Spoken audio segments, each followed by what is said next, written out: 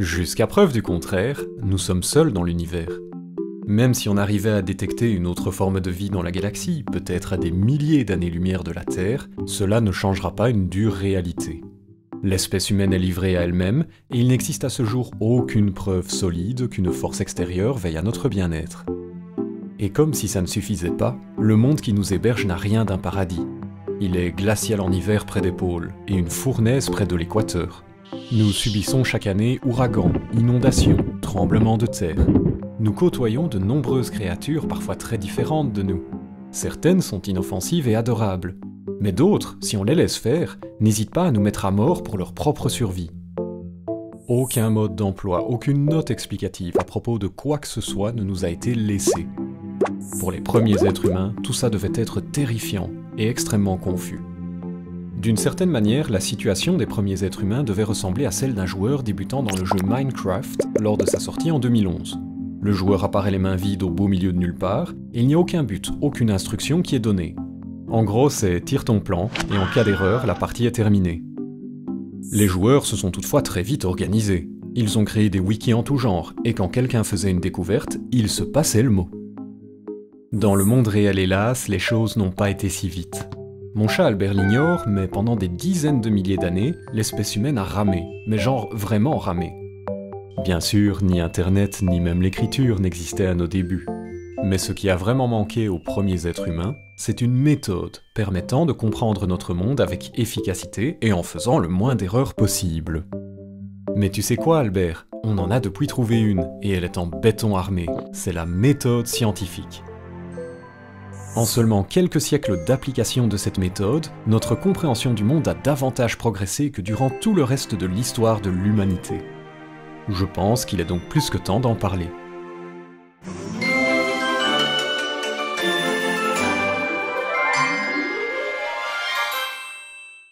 Au cœur de la méthode scientifique, il y a ce qu'on appelle les tests d'hypothèse.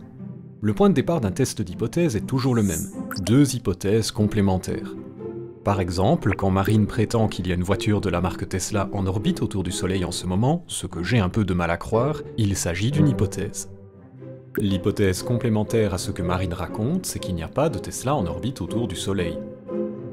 L'étape suivante du test, c'est de réfléchir comment on pourrait démolir chacune de ces deux hypothèses si elle est en réalité fausse. Si l'hypothèse de gauche est fausse, moi, à part envoyer des milliers de sondes aux quatre coins du système solaire, scanner l'espace au mètre cube près et constater qu'il n'y a pas de Tesla, je ne vois pas beaucoup d'autres options pour la démolir. Pour démolir l'hypothèse de droite si elle est fausse, les choses sont plus simples. Il me suffit de photographier la voiture en orbite à l'aide d'un télescope ou de tout autre appareil. Cette asymétrie des efforts à fournir est très importante. Parce que l'hypothèse de droite sera la plus facile à démolir si elle est fausse, nous allons l'appeler l'hypothèse nulle. L'autre hypothèse devient ce que l'on nomme l'hypothèse alternative. Il ne reste à présent qu'une chose à faire, concrètement exécuter sur le terrain l'expérience capable de démolir l'hypothèse nulle si celle-ci est fausse. Si au terme de cette expérience les données démontrent de façon claire que H0 ne tient pas debout, c'est gagné. Nous venons d'apprendre quelque chose sur notre monde et il est l'heure d'ouvrir le champagne et de célébrer. Ce point de la méthode est fondamental. C'est cruel, mais c'est uniquement à travers l'anéantissement d'une hypothèse nulle que notre compréhension du monde peut vraiment augmenter. Si on échoue à démolir H0 avec des données de terrain, malheureusement aucune découverte ne peut être annoncée. Soit cette hypothèse nulle est vraie et aucune expérience honnête n'arrivera jamais à la démolir, soit elle est fausse, mais notre expérience a échoué à le mettre en évidence. Ça arrive. Dans le cas de la voiture Tesla, moi j'ai très vite trouvé en ligne des images très impressionnantes, mais aussi des articles de presse qui supportent ces images, dans les trois langues que je parle couramment, et issus des journaux les plus fiables que je connaisse. L'hypothèse nulle étant anéantie, j'ai donc appris quelque chose aujourd'hui. Il y a bien une Tesla en orbite autour du Soleil en ce moment. Essayons un autre exemple. Oscar propose à mon chat Albert un jeu basé sur le lancer d'un dé. Pour gagner à ce jeu, il faut obtenir une valeur plus grande ou égale à 5. Problème, Albert pense que le dé d'Oscar est pipé en défaveur des deux faces gagnantes. L'hypothèse complémentaire, c'est que le dé d'Oscar n'est pas pipé. Moi, comme hypothèse nulle, je vais prendre la seconde hypothèse. Pourquoi donc Parce que le comportement statistique d'un dé, qui n'est pas pipé, c'est quelque chose de connu, qui est d'ailleurs présenté dans tout bouquin de stats qui se respecte. Voici par exemple les probabilités d'obtenir 20, 21 ou davantage de faces gagnantes, mais aussi 19, 18 ou moins pour 60 lancers d'un dé qui n'est pas truqué. Si je lance concrètement le dé d'Oscar 60 fois et que j'obtiens par exemple 17 faces gagnantes, l'hypothèse nulle aura résisté, et je ne pourrai pas conclure qu'Oscar triche. Soit Oscar n'est en fait pas un tricheur, et je n'arriverai donc jamais à démolir H0, soit Oscar est bien un tricheur, mais j'ai simplement échoué à le prouver. Dans le cas où j'obtiendrais 4 faces gagnantes seulement sur 60 lancés, les choses seraient très différentes. 4 faces gagnantes seulement, en regard de ce qui était attendu si H0 est vrai, c'est vraiment suspect. Cela prouverait que l'hypothèse nulle n'est en fait pas la bonne, et je conclurais donc qu'Oscar est un tricheur. Bon, nouvel exemple. Une personne qui n'aime pas les gays me déclare Tu sais, il ne faut jamais laisser un homosexuel à proximité d'un petit garçon. Les homosexuels, ce sont tous des pédophiles. Oui, je sais, cette dernière phrase choque. Mais ce n'est pas parce qu'une affirmation choque qu'elle est nécessairement fausse. Gardons notre calme et approchons ça selon la méthode scientifique. Dire que tous les homosexuels sont des pédophiles, c'est une hypothèse. Le complémentaire, c'est que non, tous les homosexuels ne sont pas des pédophiles. Si l'hypothèse de gauche est fausse, la démolir sera très facile, il suffit de trouver au moins un homosexuel qui n'est pas un pédophile. Ce sera donc mon hypothèse nulle.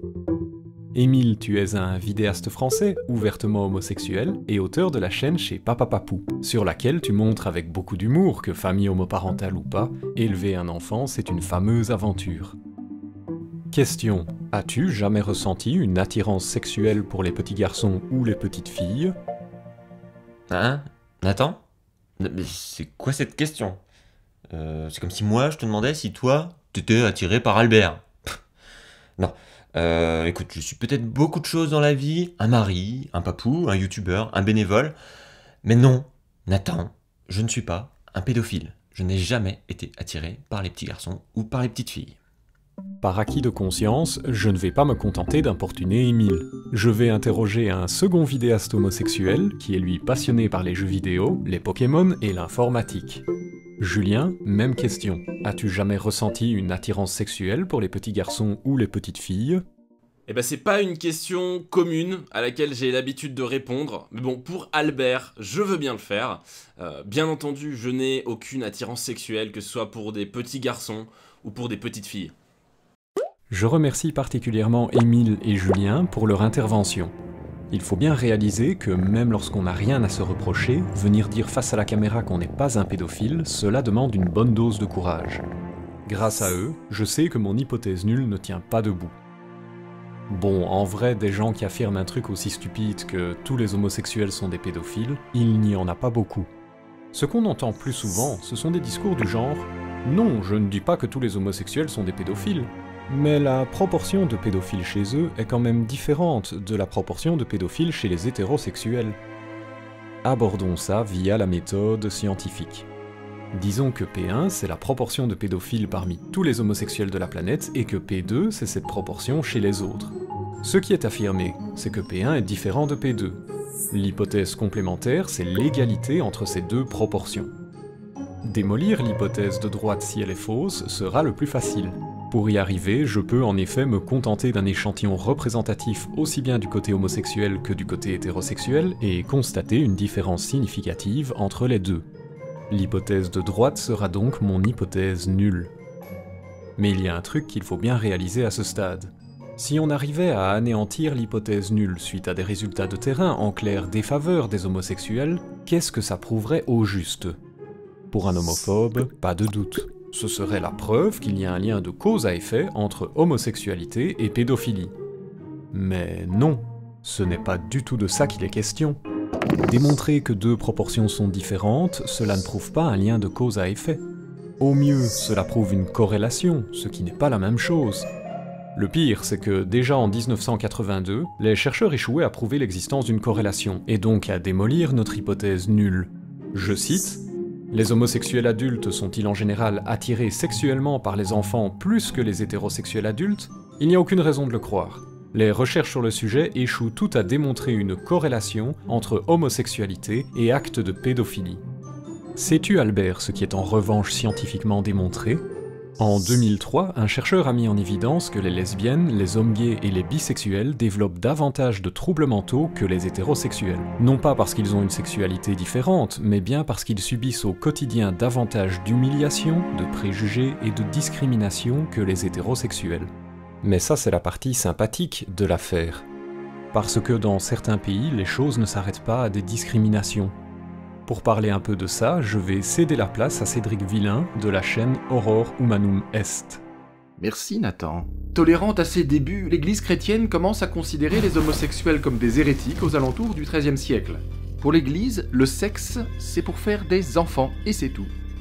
Les peines de l'Inquisition sont alors radicales, excommunication, amende et bûcher. Si le sodomite condamné a de la chance, il peut bénéficier d'un étranglement préalable. C'est ce qui arrive à Jean Dio et Bruno Lenoir lors du dernier bûcher de Sodome de France qui s'est tenu en place de grève à Paris le 6 juillet 1750. La pratique du bûcher disparaît à l'époque contemporaine, mais la plupart des législations obligent les homosexuels à cacher publiquement leur orientation, sur des principes d'outrage à la pudeur pas toujours très clairs. Durant la Seconde Guerre mondiale, pour préserver la race aryenne de leur influence perverse, les nazis marquent les homosexuels allemands d'un triangle rose et les envoient dans leur camp de concentration. Après la guerre, considérés souvent comme des malades mentaux, les homosexuels continuent d'être persécutés en toute légalité en Europe pendant plusieurs décennies.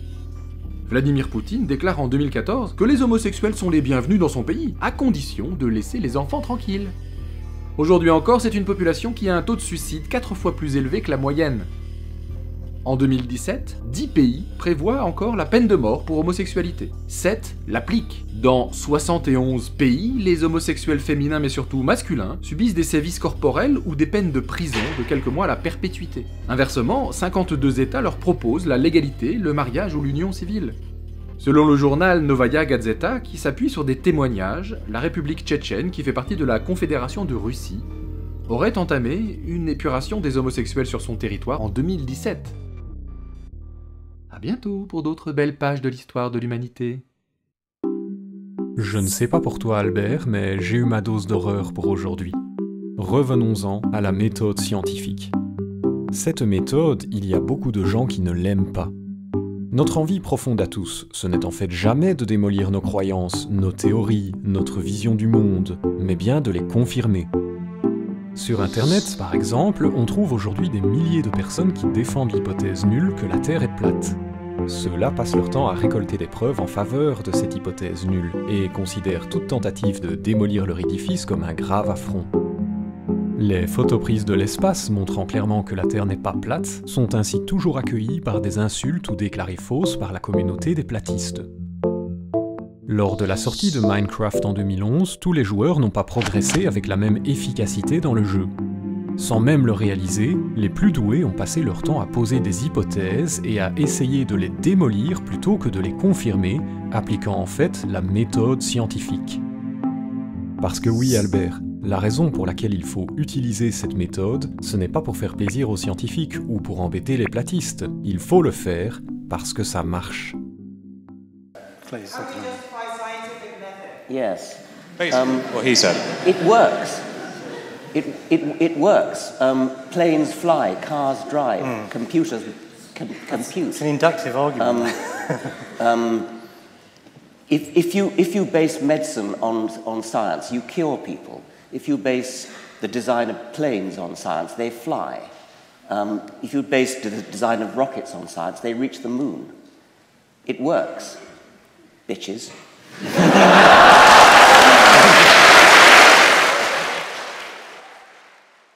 Cette vidéo vous a plu? Pour aller de l'avant, nous avons besoin de votre soutien sur tipeee.com slash amidalbert. Si chacun de nos abonnés ne nous donnait ne serait-ce qu'un euro ce mois-ci, la survie d'Albert serait assurée pour de nombreuses années.